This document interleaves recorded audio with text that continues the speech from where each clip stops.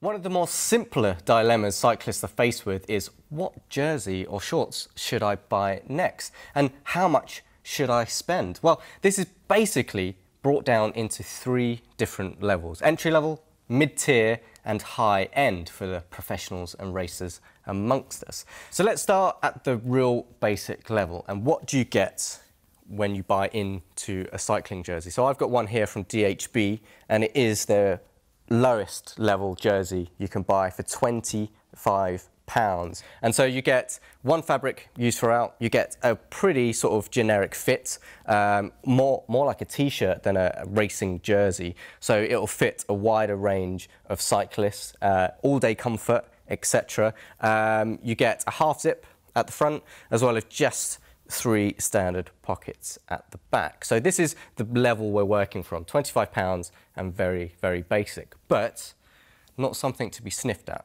It's a, a, decent jersey for the price. So yeah, that is the base level. And to demonstrate how that's different from a race fit and everything in between, we're going to be using DHB's Aeron kit line. We are indeed. So I've got the very top stuff. Uh, this is DHB's Aeron Lab, it's called. So I've got the jersey and I've got the shorts here. Uh, James is one step down, was the Aeron Speed kit. That's this stuff here. Very lovely colourway there. Absolutely. And Sai is at the entry level to the Aeron line. Here is my Aeron range. And what we'll be looking at are the four Fs. Fit, fabric, features and financials. So basically, we're going to have a game of top trumps. We are. Have you got your cards, mate? I've got my jersey. Oh, all right, I'll, I'll get mine out. Jersey and shorts. There you go. DHB use a three-tier fit system with all of their kit. So we have active, performance and professional. So active fit jerseys, they're like that first one that you put on there. Yeah, nice um, and comfortable. Nice and comfortable. Very, very basic fit. Very, very relaxed. So great for all types of cyclists. But you and I, we have a performance fit jersey. So the performance fit jerseys are a little bit more aerodynamic, a little bit closer fit. So with yours? So with mine, uh, this is a medium size. Um, so something I sort of generally go for in a, in a jersey top, um, now that I'm a bit more porkier and I don't race as much as old Roops over here. Um, so it'll be closer in at the waist, um, it'll be more form-fitting on the bike as well. So when you're sort of lean, leaning over into the sort of hood position or drop position, the jersey will follow that sort of hunched over shoulders, etc., etc. Uh, the cuffs uh, around the sleeves um, coming a bit tighter. These ones are laser etched, but we'll go into that a bit more detail uh, later. But the differences really, in terms of fit, come at the collar and probably the waist, uh, where it will have a bit more give uh, and a bit more sort of relaxed nature compared to uh, James. Yes. So this is the Aeron Speed, so it's the next level up. And as the name implies, it's all about speed. So it's a slightly closer fit again. So the sleeves themselves are a little bit tighter than on your standard aero jersey there. Um, and you've got a different sort of amount of materials here to create almost a tighter fit at the front, so there's less bunching of material. So there's a nod to aerodynamics when it comes to this jersey here. And my jersey here actually takes that all to kind of the next step. So this falls into DHB's professional range. And uh, that means a far more aggressive fit. so actually, if you look at James's, which you might have seen there, and yours as well, the collar is quite high on both of yours. Yeah, so it kind of goes like almost like highest, pretty high still. And then non-existent here. And that's because uh, a high collar doesn't let you bend so well over the drops or on the hoods, and this is meant to be riding aggressively. You know, you might be attacking, you need the jersey to move with you. For that same reason, it's got a shorter front, so the zip is shorter because you can't really sit upright in that as much. That keeps you bent low over the bars, keeps you being very aggressive. And longer sleeves. So it doesn't have the cuffs on the end like you saw in yours because these are kind of like a built-in gripper, but we'll touch on that in a bit. But the length of the sleeves is the most important. These sit quite long, probably much longer than yours They, they do. do, in fact, actually. Um, and with this, you know, you're going to get a fairly generic T-shirt tan line. But with, exactly. with you, you're going to sort of go full Alex Dowsett. Yeah, it's going to sit pretty much there and should stay there for the whole of the ride. Level, it? it is, yeah, and it keeps that length and it's very form and figure hugging on the arm. Uh, so really tight second skin, DHB call it. So when you put that jersey on, it doesn't feel quite as comfortable when you're in a, a standard yeah. sit-in position. But as soon as you go down into that position, it's a bit more like it's like clicks into place. And, and to a point, you get the same thing with these jerseys, but it just has a little bit more give, so it's a bit more comfortable from that fit. We all like a good pair of shorts. They can make or break a bike ride. And DHB do a rather good short. I think the three of us would agree it's one of the better short brands out on the market today. And so the Aeron range, starting at the entry level, falls into the performance uh, side of things. Um, so that's sort of slight compression on the Lycra, uh, supporting around uh, the lower back into the bibs, and then having a nice flush fit around the leg holes. I like the basic terms for these things. Leg uh, holes, the, leg, holes yeah. the leg ends yeah. as well. You know, that's yeah. another good way of explaining it. So the basic short from DHB in the Aeron range is, in fact, very, very good, and it's actually quite a technical garment. Just like the jerseys, the Aeron Speed starts to bring a bit more aerodynamics to it. The main difference here is it's a heavier fabric, so you get more compression. So it holds everything in place, which is always what you want your shorts to do. Yeah. Um, but it just creates more of a seamless fit. So it's more aerodynamic. So you don't have any like sort of big bulky seams or anything on here. So yeah, and that's basically the biggest difference in terms of fit. Um, but then if you look at the bibs, what we have here is we've got a flatter elastic bib on the front, which sits much wider on the shoulders. So it doesn't dig in at all. So you've got that sort of like nice flush system on here and it makes it feel a more comfortable short overall, I think, in terms of the, the difference between the Aeron and the Aeron Speed. Sure. Yeah. Aeron Lab, though, uh, takes it to that next step, as you might expect from a professional level piece of kit. So it uh, copies the Aeron Lab jersey's second skin fit, which just means it's going to be really, really compressive when you put it on. It's going to sit really tight. Uh, it's going to be nice and aerodynamic, so you're not losing anything there very comfortable as well. The tighter the short, for a lot of people, the more comfortable it is. You don't feel yourself moving in it at all. You kind of forget it's there because it's just stuck on your legs. The bibs are different, both actually to yours and size, in that they have this little cutout here, so that helps you back breathe. But they're also really wide. They're very thin and really soft. So basically, uh, so, so, you can't feel them when you're riding along. About as minimal as it gets. Yeah, minimal but yeah. supportive. You know, they spread out a lot on your chest you've got this support in your back and this uh, keeping the keeping the waist nice and high for when you're riding along. So finishing on fit and moving into fabrics where we're starting to get into the real nitty gritty of the jerseys and the difference between each step in the Aeron range. So before I continue, so compared this one with the really basic 25 pound jersey, um, you can actually see the difference already, and especially in terms of the two fabrics that are used. So two different style of fabrics are used. Um, one slightly sort of heavier, more durable fabric at the front, uh, but you also get like a clearer mesh fabric under the arm as well as the back. So this jersey starts to manage heat and starts to manage breathability a bit more than the real basic jersey. But overall, the jersey is a bit lighter because of that fabric as well. So the standard fabric is a bit lighter and then the mesh fabric even more so. So you start to get a bit of a weight difference between this uh, and the basic £25 one. And I think this one probably represents the biggest change actually. So this one is all about different panels and all about ventilation. So the first thing you notice straight away is it's a lot lighter again. So this weighs 115 grams for a medium jersey, which is pretty damn light, really. And sorry, I didn't tell you the weight of my jersey either. So this is 150 grams compared to your 115. So that's 35 grams difference. That is, and Good math. That's actually quite significant because one thing when you sort of start buying jerseys like this and start buying kit like this, it's it's all about making sure that you're not really feeling them. You know, it's it, a lightweight jersey, a well-fitted jersey is not going to be an issue. So you're going to have much more comfortable times in this. And the other thing as well is it's all about transferring moisture. So we've got ventilated fabrics on the back, there's ventilated fabrics on the shoulders and the sleeves, then underneath as well and on the back, we've got a real, real open mesh panel here as well. So DHB actually say you need to wear sun cream with this jersey because otherwise you won't get any protection from it. And then the material on the front is actually a much stretchier material here, so it creates a much closer position So it makes it much, much more sort of aerodynamic again from that point of view. Uh, this one though has got an antibacterial treatment. So if you do ride a lot and you smell at the end of the day, then your friends will thank you. Looking if at- you have, looking at me have there, a jersey. James. I'm sorry. I've done- I'm, I'm looking at everybody really. We all, we all have that. Moving on to the professional range. Fabric-wise, this differs, as you would expect, in some key areas. It takes quite a lot of what DHB have done with your jersey, James, and just kind of builds on it. So we've got this incredibly, incredibly thin fabric. There's absolutely no sun protection here.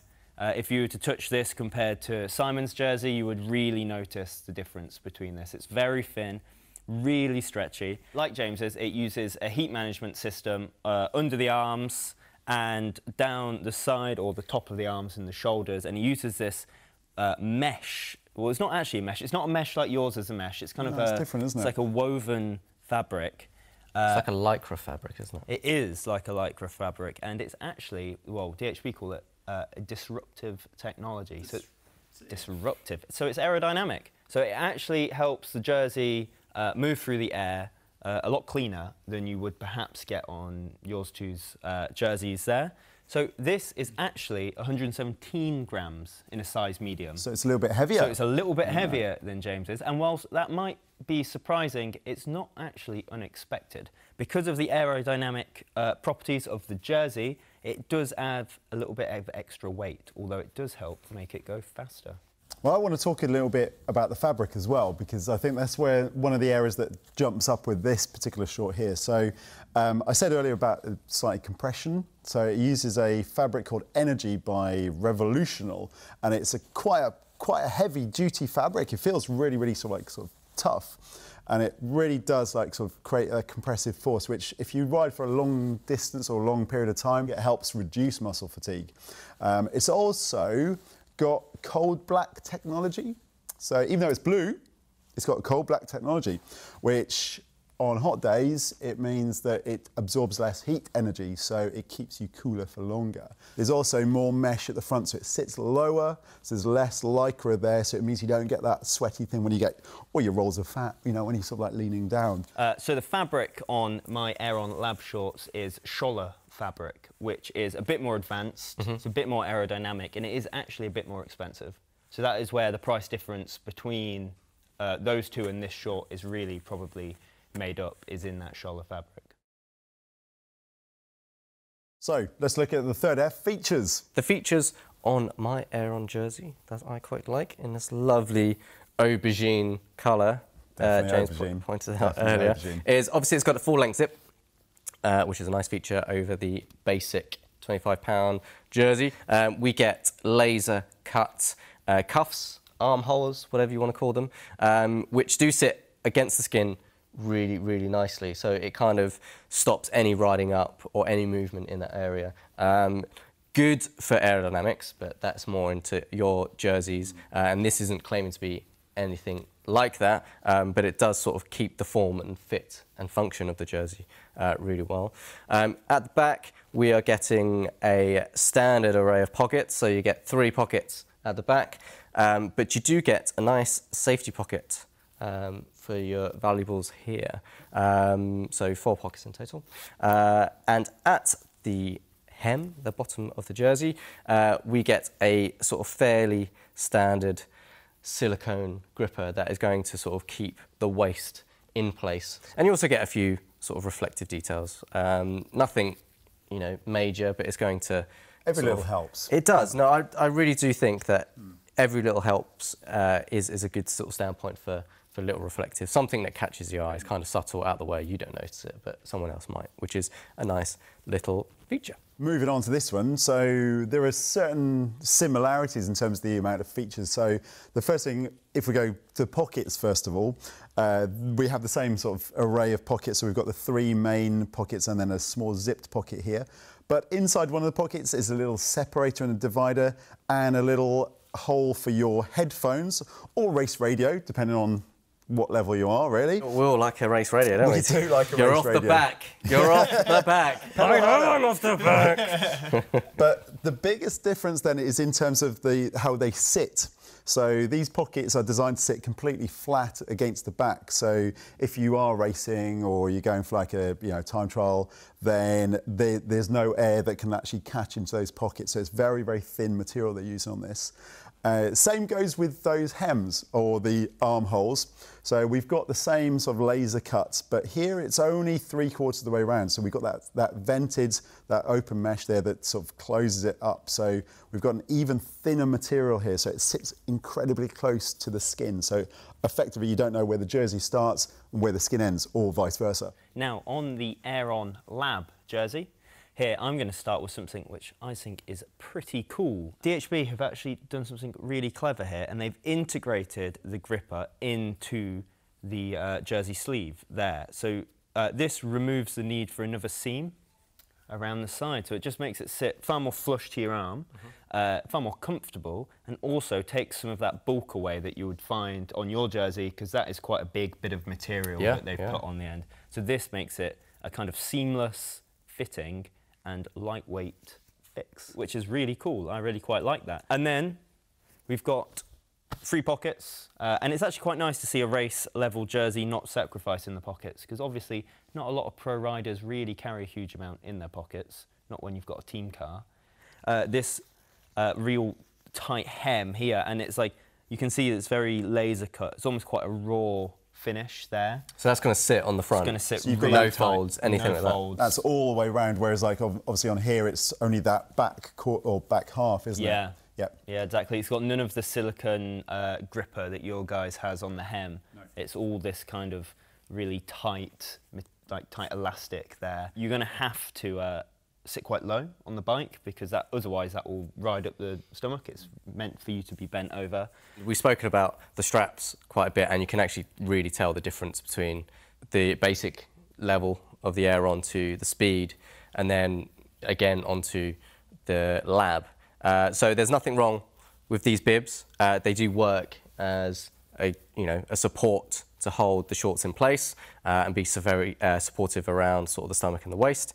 Um, but they can, if you get the size wrong, have a tendency to sort of dig in slightly uh, around the sort of elasticated straps here, where you guys, with your sort of laser etched um, elastic, kind of eliminates that completely. The basic paneling of the short, there's six panels, as you would get in a standard pair of shorts. Uh, it follows suit for you, James, in your six yep. panels. Um, and at the leg end of the business, um, we get silicone sort of etched onto the uh, elastic and the lycra at the end, which acts as a very, very good support. And, you know, when I've been wearing them, they haven't moved at all.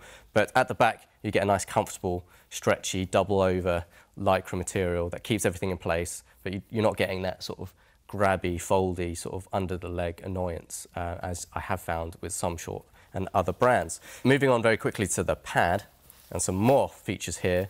And so it's a Cytech pad. Um, but this is where a big difference lies between all the shorts that I found. And you can really tell on my pad here, which DHB say is good for five hours of riding. Um, but you, all of the cushioning is moved to the back. So it's kind of showing where they slightly position these shorts and the right type of rider riding these. And that's slightly sitting further back on the saddle, a bit more comfortable, a bit more relaxed.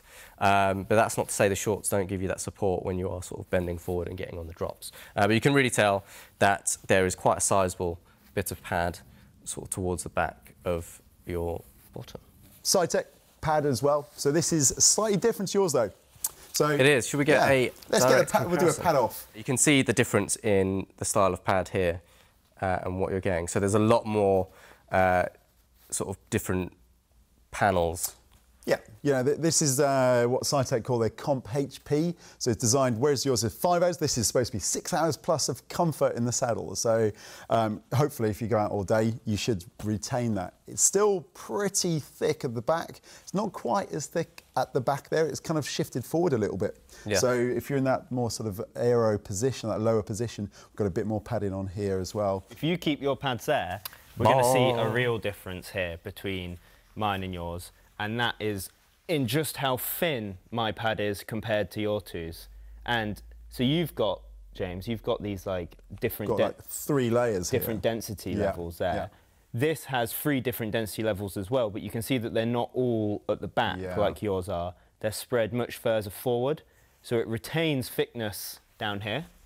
So that is obviously suggesting you're going to be lent right forward on the bike, uh, and it's much thinner at the back. Uh, and then things are kept very comfortable around the leg holes as well, using the same technology we saw on the jersey. It's integrated that silicon gripper into the cuff there, uh, which makes it much more comfortable and much lighter as well. So basically, if you were to wear the Aeron Lab shorts with the Aeron Lab jersey, you're effectively going to be wearing kind of a skin suit. It's just not joined around the middle. So those side uh, panels that we saw on the jersey are going to link in very nicely to these side panels here on the short, which helps the airflow right around you. It's going to help heat dissipation as well because this is really thin. You can see my fingers there when you push them through it. So it's going to dissipate heat very well, wick moisture away, and uh, line up very nicely with the jersey, making you fast, fast, fast. Nice. Wow. So I must say, these weigh in around 180 grams. These were a little bit less. They were 154 grams. These were 149 grams in a small. The financials of The these financials. jerseys. Well, uh, let's start with uh, Simon. 50 pounds will get you this jersey, which I think is a very reasonable price. Yes. Yeah, definitely, and it's a nice technical piece of kit. It is, definitely. Get a lot, get a lot of bang for your buck. You do. James. And obviously, it's available in different colours if you don't like aubergine as well. Yeah, I, I think we need to get the real colour down. I, I don't think it's aubergine, but And so, if you want a bit more speed and a bit more bang for your buck on here, this Aeron Speed is actually £65. So it's Wow, quite okay. close That is Yeah. good, price or price comparison to that particular version. Um, but obviously, as I said, if you if you want something a little bit tighter, a little bit more racy, a bit more aerodynamic, uh, or for really hot rides, then £65 gets you the Aeron Speed. That's cool. Oh, it was interesting as well, actually, because there's quite a jump there. This is 110 pounds for this jersey, so there's a jump from 65 to 110. But for that money, you really do get the elite level features on a jersey. It's not as expensive as some stuff that's out No. there, and for that, you're getting race ready performance. And also, to be honest, you don't need to be racing to wear this jersey. If you just want to feel fast on the bike and feel like you're holding your form really well, this could be a really good option. you will only have to pay £75 for the Aeron shorts. These are actually only 85. Wow, so okay. they're Wow. pretty close. But again, there's that sort of different different needs. These are 130 pounds. Um, again, uh, really almost nothing compared to what we see at the top end of the bib short market. Okay, and that pretty much explains the fundamental differences between these three kits, and that's the Aeron range from DHB. And it's not only the fabrics and the technical features, but it's fit as well.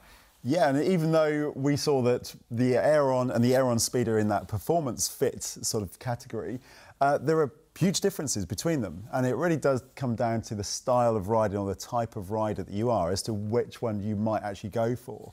Thanks again, guys. Uh, and if you like this video, please like and subscribe our channel. And if there's anything you want us to cover in terms of basic budget products to high-end stuff, please leave a comment in our comments section below. But until then, we'll see you next time.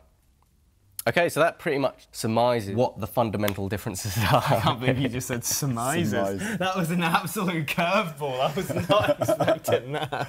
Good word, though. Fair play. Yeah. My eyes just went wide. I was like, you what? It's got more than two syllables, You've been syllables, reading Simon. the dictionary again.